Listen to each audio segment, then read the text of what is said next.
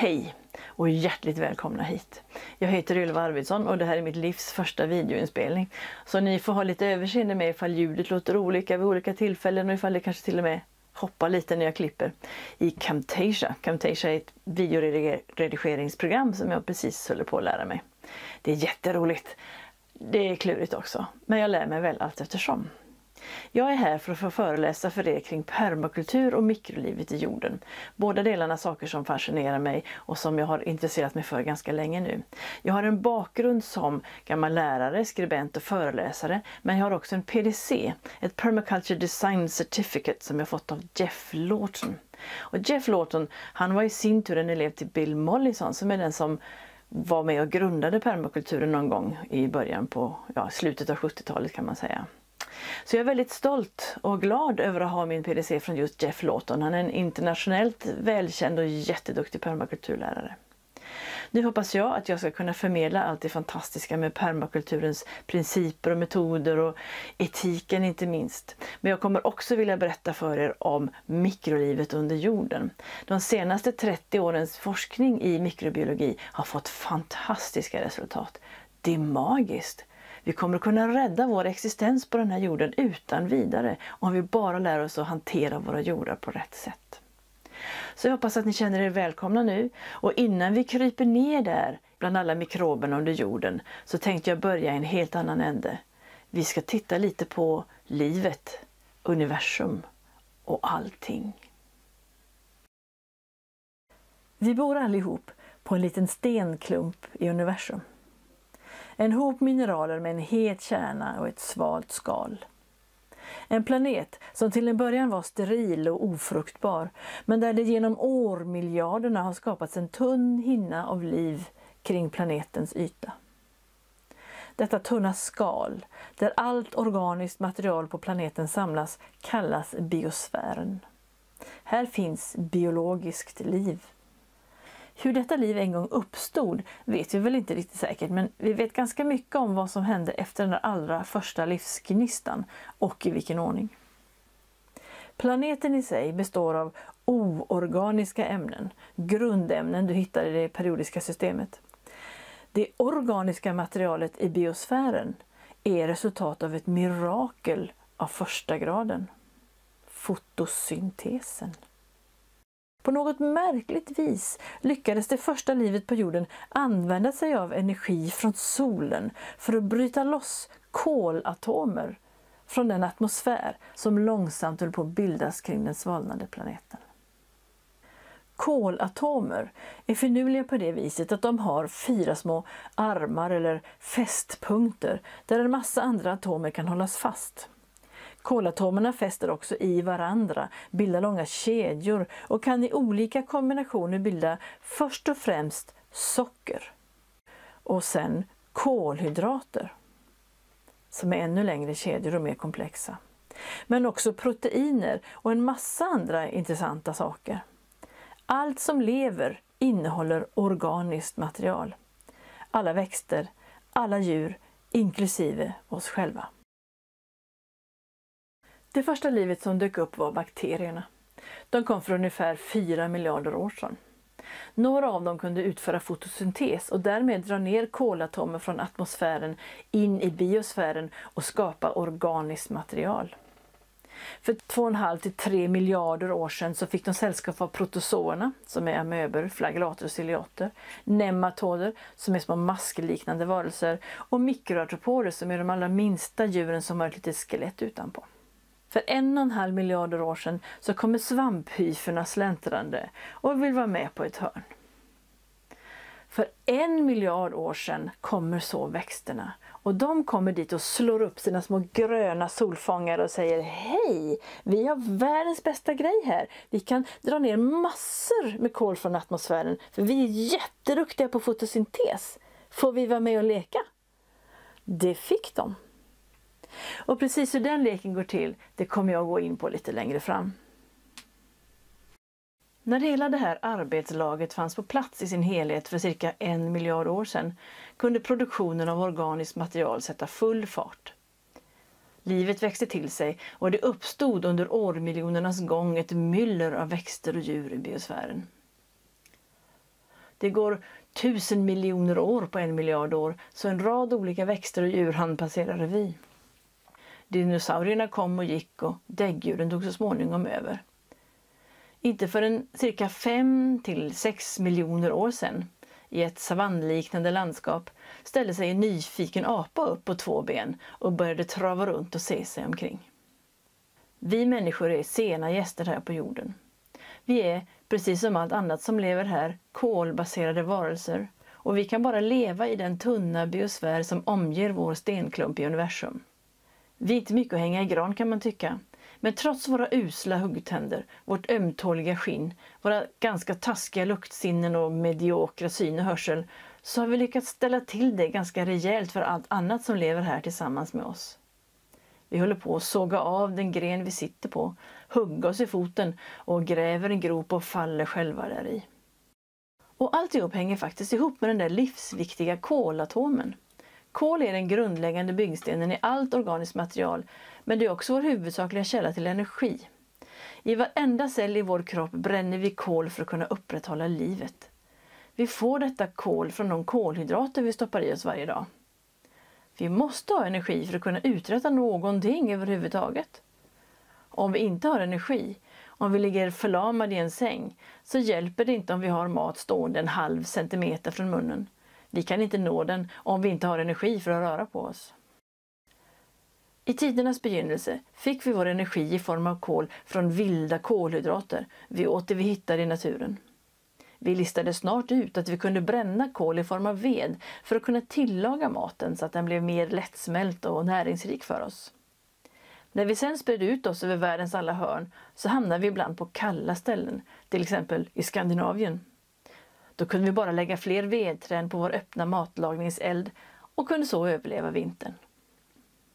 Så småningom fick vi för oss att peta ner frön från våra favoritväxter och odla våra kolhydrater där vi som bäst behövde dem. Vi blev bofasta och hittade på att bygga in elden i spisar och kakelugnar men matade den fortfarande med kolkällan ved.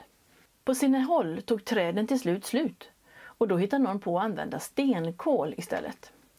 Stenkol är i grunden ett flera miljoner år gammalt kolrikt organiskt material som för länge sedan samlades i tjocka lager på jordytan och som sedan gått igenom olika kemiska och geologiska processer. Så att det till slut blivit stenhårt och går att utvinna genom gruvdrift. Med tanke på stenkolens organiska ursprung skulle man kunna säga att den är en slags konserverad solenergi i stark koncentration.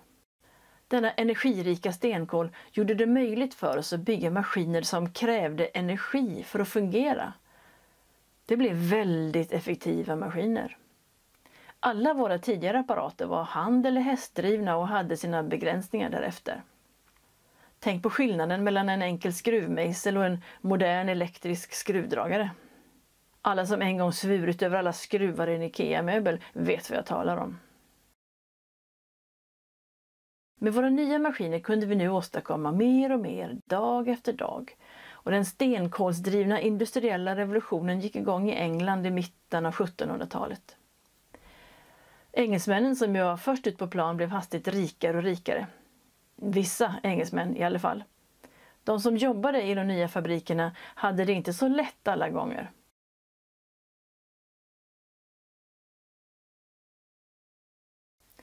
Först så småningom kom rikedomarna att spridas ut lite bättre i takt med att arbetare organiserade sig och krävde sin del av den växande kakan. I en annan slags revolution.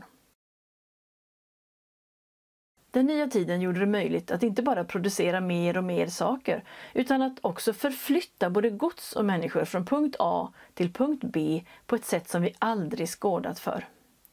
Utveckling blev lika med mer och mer av allting. Mer och mer kräver mer och mer kol, mer energi för att kunna växa och växa och växa. Stenkol i all ära. Den är energirik men ganska bökig att hantera. Vi fick så upp ögonen för ett annan slags konserverad solenergi. Olja. Oljans organiska ursprung är de alger och plankton som flöt omkring på havsytan av ett varmare hav för flera miljoner år sedan. En omgång kom till för cirka 145 miljoner år sedan och en annan för cirka 90 miljoner år sedan. Efter att ha sjunkit i botten av havet och där hamnat i en syrefattig miljö gick detta organiska material också genom kemiska och geologiska processer men till skillnad från stenkolet så förblev oljan flytande och stort sett sprutade upp i marken på sina håll. Så sattes då den första oljekällan i bruk i Spindletop i USA 1901. Nu fick vi plötsligt tillgång till enorma mängder energi så enorma att vi tappade alldeles bort oss och fick för oss att energi var nästan gratis och det fanns hur mycket som helst i evigheters evighet. Allt skulle alltid bli bättre och bättre och bättre betyder mer. Mer och mer och mer. Vi vande oss vid ständig tillväxt och tar den för självklar. Men ständig tillväxt är inte möjlig i ett ändligt system. I en människokropp kallas ständig tillväxt cancer. På vår planet ser vi nu tydliga tecken på att någonting är på tok i biosfären. Vårt klimat förändras. Vår ständiga förbränning av fossilt kol och olja flyttar upp kolet i atmosfären och där gör det mer skada än nytta. När vi plöjer våra jordar flyttar vi också upp kol i atmosfären och det påverkar klimatet. Hela vårt sätt att hantera våra jordar i det moderna jordbruket förvandlar också matjord till lort. Och lort det spolas bort lätt av väder och vind. Vi förlorar massor av användbar matjord varje dag. Vi förlorar också mycket av den biologiska mångfalden. Växter och djur försvinner i takt med att deras biotoper försvinner och förvandlas till shoppingcentrum, parkeringsplatser, bostadsområden eller väldigt hårt betad jordbruksmark. Den ständiga tillväxtens idé håller också på att utarma jordens förråd av ändliga resurser.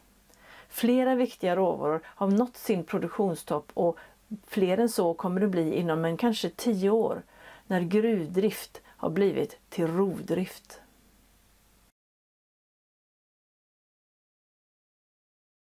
Hur hamnade vi här? Den energirika oljan har byggt vår civilisation. Det är en ganska ung civilisation, 100 till 150 år sådär. Vi har fått massor med bra saker ut av den här väldigt rika, oljerika, energirika tiden vi har bakom oss. Men en hel del saker har också inte blivit riktigt lika så bra inte som vi hade tänkt oss. Vi har till exempel tillåtit tillväxtens idé att löpa fullständigt amok. Idag kan du beställa fyra, fem t-shirts från Kina i olika färg och form, prova dem hemma och bestämma dig för att nej men fyra av de här skickar jag tillbaka till Kina. Till andra sidan jordklotet. Det är fullständigt ohållbart. Det är ohållbart inte bara på grund av miljömässiga skäl och med klimatskäl och med transportskäl och vad det nu kan vara. Det är också fullständigt ohållbart därför att olja är en ändlig resurs. Och den billiga, den lätta att hitta och lätta att pumpa upp, billiga, snabba, underbara olja som vi har pumpat upp i jorden nu i 100-150 år, den har nått sin produktionstopp och det gjorde den redan 2005 till 2006. Det vi lever på nu är en dyrare och svårare och svårtillgängligare olja. Så vi lever på lånad tid och på lånade pengar. Nästa ekonomiska krasch, den globala kraschen som var 2008, den kommer tillbaka till oss när som helst känns det som. Så vad ska vi göra? Vi måste försöka hitta ett annat recept för hur vi kan klara oss och leva uthålligt i vår biosfär på den här planeten. Men hur skulle ett sådant recept kunna se ut? Vi lever alla på en liten stenklump i universum. Men runt denna snurrande sten så finns ett tunt lager, en hinna, där organiskt liv håller allting igång år efter år efter år. Energin kommer från solen till allt som växer. Ekosystemen i biosfären är långvarigt uthålliga. De kan repa sig efter en chock, de är slagtåliga och de producerar ett överflöd av organiskt material. Det låter som en dröm. Men det är sant. Så hur vore det om vi försökte klura ut hur de bär sig åt? Precis denna fråga ställde sig biologen Bill Mollison någon gång på 70-talet. Han hade en student, David Holmgren, som undrade samma sak och de gav sig på att försöka hitta ett svar. Deras samarbete resulterade i att de tillsammans skrev boken Permaculture One som kom ut 1978. I denna bok tar de ekosystemen som förebild och föreslår olika sätt att samarbeta med dessa system istället för att motarbeta dem. I Permaculture One pratar Mollison och Holmgren mycket om perenna system och hur skogar och skogsträdgårdar skulle kunna hjälpa oss på traven. Men sedan dess har permakulturen vuxit till sig och omfattar numera mycket mer än bara skogsträdgårdar. Bill och David gav ut flera böcker, både tillsammans och var för sig, och gav upphov till en internationell permakulturrörelse. Det finns massor av böcker om permakultur på flera olika språk. Och nu finns det också en på svenska. En permakulturlärare måste också alltid tillämpa och utveckla permakultur. Så självklart har vi en permakulturträdgård hemma hos oss på Borabo i Västra Götaland. Sedan starten i slutet på 1970-talet har permakulturen hunnit växa sig stor och mångskiftande. Det finns permakulturister på många håll i världen och alla ställer de sig ständigt samma fråga. Hur skapar naturen resilienta ekosystem som förnyar och reparerar sig själva samtidigt som de kan producera ett överflöd av organiskt material och därmed liv? Och hur kan vi ta lärdom av detta? Svaren varierar beroende på lokala förutsättningar. Frågan är alltid densamma. Därför att permakultur grundar sig i vetenskap och vetenskap samlas alltid kring frågorna snarare än svaren. Under denna kurs ska vi tillsammans titta på hur vi kan använda ekosystemens sätt att organisera sig när vi själva ska organisera våra odlingar och våra liv. Jag kommer att berätta om permakulturens sätt och permakulturens metoder. Andra kommer att prata om regenerativt jordbruk. Men alla vi föreläsare har ett och samma sak gemensamt och det är att vi har goda nyheter till er allihopa. Det finns redan en lång rad väl beprövade och fungerande metoder som kan ge oss ett uthålligt liv på den här planeten. Och jag har ännu fler goda nyheter att berätta den moderna mikrobiologin berättar för oss precis hur alla de här mikroberna som har funnits här i så många miljarder år faktiskt fungerar och hur vi kan lära oss att reparera jordar på kanske bara en säsong. Så, så länge det finns liv så finns det hopp. Och att ni som går den här kursen har valt att försöka bli en del av en lösning istället för en del av problemen ger mig hopp. Och jag hoppas på att kunna förmedla allt detta hopp om en framtid till er allihopa. Så att vi kan leva vidare här på vår stenklump i universum.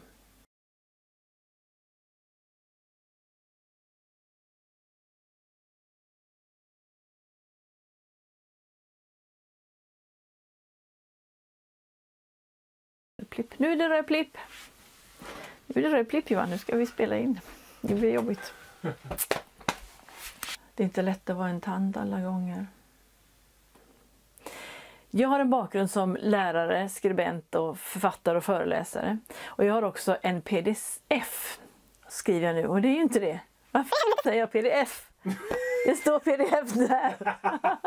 Vi ska börja med lite storslagna vyer och tänka på allting. Och allting går åt det som var så bra.